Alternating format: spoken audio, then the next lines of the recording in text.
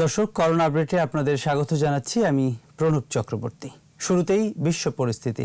বিশ্বজুড়ে করোনা ভাইরাসে আক্রান্তের সংখ্যা চার কোটি উনষাট লাখ ছাড়িয়েছে। এর মধ্যে নিরানব্বই শতাংশের এক কোটি তেরো লাখ বিরানব্বই হাজার একশো পঁচিশ জন আছেন অল্প ঝুঁকিতে, আর বাকি এক শতাংশের তিরাশি হাজার চারশো ছেচল্লিশ জন আছেন উচ্চ ঝুঁকিতে।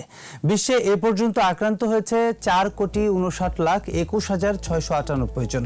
মৃত্যু হয়েছে এগারো লাখ তিরানব্বই হাজার নয়শো নয় জনের, আর সুস্থ হয়েছেন তিন কোটি বত্রিশ লাখ বাহান্ন হাজার দুশো আঠারো জন। করোনার দ্বিতীয় তরঙ্গে আবারও মহামারী রূপ নিচ্ছে। সামাল দিতে হিমশিম খাচ্ছে উন্নত দেশগুলো। বিশ্বে একদিনে আক্রান্ত হয়েছে পাঁচ লাখ তিয়াত্তর হাজার ছশো ষোলো জন, মারা গেছে সাত হাজার চারশো নব্বই জন। আক্রান্ত মৃত্যুর শীর্ষে থাকা যুক্তরাষ্ট্রে আক্রান্তের সংখ্যা তিরানব্বই লাখ ষোলো হাজার দুশো সাতানব্বই, মৃত্যু হয়েছে দুই লাখ পঁয়ত্রিশ হাজার একশো উনষাট জনের। আক্রান্তে অন্যতম প্রধান দেশ দক্ষিণ এশিয়ার ভারতে করোনা সংক্রমিত হয়েছে একাশি লাখ সাঁত্রিশ হাজার একশো উনিশ, মৃতের সংখ্যা এক লাখ একুশ হাজার ছয়শো একাশি। মৃত্যু তালিকার দ্বিতীয় শীর্ষ দেশ ব্রাজিলে মৃতের সংখ্যা এক লাখ উনষাট হাজার পাঁচশো বাষট্টি, আক্রান্তের সংখ্যা পঞ্চান্ন লাখ উনিশ হাজার পাঁচশো আঠাশ। দেশটিতে সুস্থ হয়েছে প্রায় অর্ধ কোটি আক্রান্ত ব্যক্তি। রাশিয়ায় আক্রান্তের সংখ্যা পনেরো লাখ নিরানব্বই হাজার নয়শো ছিয়াত্তর। মৃতের সংখ্যা সাতাশ হাজার ছয়শো ছাপ্পান্ন। সুস্থ হয়েছে প্রায় বারো লাখ আক্রান্ত ব্যক্তি। ফ্রান্স আবারও উঠে এসেছে পঞ্চম অবস্থানে। দেশটিতে আক্রান্তের সংখ্যা তেরো লাখ একত্রিশ হাজার নয়শো চুরাশি। মারা গেছে ছত্রিশ হাজার পাঁচশো পঁয়ষট্টি। স্পেনে কোভিড নাইন্টিন রোগীর সংখ্যা বারো লাখ চৌষট্টি হাজার পাঁচশো সতেরো, মৃত্যু হয়েছে পঁয়ত্রিশ হাজার আটশো আটাত্তর জনের। আক্রান্তের সপ্তম শীর্ষ দেশ আর্জেন্টিনায় করোনা সংক্রমিত হয়েছে এগারো লাখ সাতান্ন হাজার একশো উনআশি জনের, মারা গেছে ত্রিশ হাজার সাতশো বিরানব্বই জন। বিশ্বের আরও কিছু খবর। ইউরোপে করোনায় আক্রান্তের সংখ্যা এক কোটি ছাড়িয়েছে। চলতি শীত মৌসুমে করোনা পরিস্থিতিকে সুনামির সঙ্গে তুলনা করেছেন বিশেষজ্ঞরা।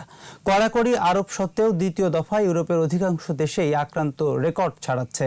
চব্বিশ ঘন্টায় ইতালিতে প্রায় সাতাশ হাজার, স্পেনে সাড়ে তেইশ হাজার ও বেলজিয়ামে প্রায় চব্বিশ হাজার আক্রান্ত হয়েছে।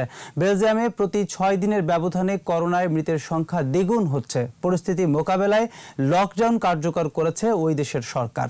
এদিকে আগামী সপ্তাহ থেকে লকডাউনে যাচ্ছে যুক্তরাজ্যে। এছাড়া স্পেনে ছয় মাসের জন্য জরুরি অবস্থা জারি রাখার পক্ষে মত দিয়েছে সরকার। অন্যদিকে বিশ্বে এ পর্যন্ত করোনায় মৃত এগারো লাখ তিরানব্বই হাজার এবং আক্রান্ত চার কোটি উনষাট লাখ ছাড়িয়েছে। যুক্তরাষ্ট্রে প্রেসিডেন্ট নির্বাচনকে সামনে রেখে ফের বাড়ছে করোনা সংক্রমণ। একদিনে রেকর্ড সংখ্যক চুরানব্বই হাজার মানুষ আক্রান্ত।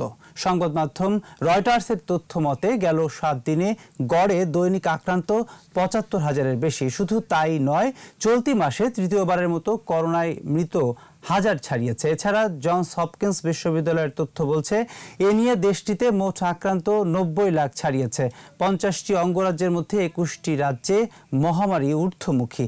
এর মধ্যে নির্বাচনে ব্যাটেল গ্রাউন্ড রাজ্য হিসেবে পরিচিত উইসকনসিন, মিনসোটা, ফ্লোরিডা, টেক্সাস ও অ্যারিজোনাও রয়েছে। এসব রাজ্যে সতর্কতা সত্ত্বেও ভোটারদের টানতে শেষ মুহূর্তের প্রচারণায় ব্যস্ত ট্রাম্প ও বাইডেন। ট্রাম্পের দাবি নমুনা পরীক্ষা বাড়ার কারণেই আক্রান্ত বাড়ছে সম্প্রতি ট্রাম্পের সমাবেশে অংশগ্রহণকারীদের পরীক্ষার পাশাপাশি মাস্ক দেওয়া হচ্ছে, যদিও নেই সামাজিক দূরত্ব। এবারে জেনে নেব স্বাস্থ্য অধিদপ্তরের সর্বশেষ তথ্য। চব্বিশ ঘন্টায় করোনায় আরও উনিশ জনের মৃত্যু হয়েছে, এ নিয়ে মোট মৃত্যু পাঁচ হাজার নয়শো পাঁচ। এর মধ্যে পুরুষ বারো জন ও নারী সাতজন স্বাস্থ্য অধিদপ্তরের সংবাদ বিজ্ঞপ্তিতে জানানো হয়, দুশো সাঁত্রিশতম দিনে একশো বারোটি ল্যাবে চোদ্দ হাজার একশো একচল্লিশ নমুনা পরীক্ষায় শনাক্ত হয়েছে এক হাজার ছয়শো চারজন এ নিয়ে মোট শনাক্ত চার লাখ ছয় হাজার তিনশো চৌষট্টি। নতুন এক হাজার চারশো বাইশ সহ সুস্থ হয়েছে তিন লাখ বাইশ হাজার সাতশো জন। সুস্থতার হার শতকরা উনআশি দশমিক চার এক শতাংশ এবং মৃত্যুর হার এক দশমিক চার পাঁচ শতাংশ। পুরুষ মৃত্যুর হার ছিয়াত্তর দশমিক নয় এক এবং নারী মৃত্যুর হার তেইশ দশমিক শূন্য নয় শতাংশ। দর্শক, এই ছিল এ পর্যন্ত সর্বশেষ। নতুন তথ্য নিয়ে আবারও ফিরব বিকেল চারটায়। দেখার আমন্ত্রণ, স্বাস্থ্যবিধি মেনে চলুন, একুশের সাথেই থাকুন।